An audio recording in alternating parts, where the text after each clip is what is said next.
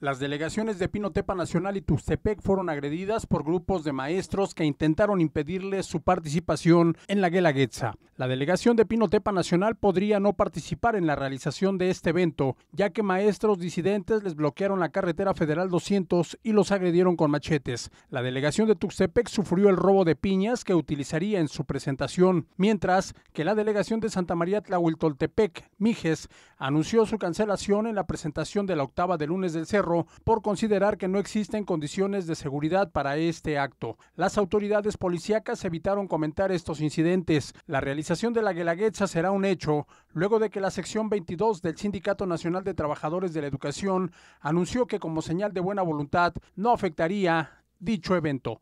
Con información de MBM Televisión.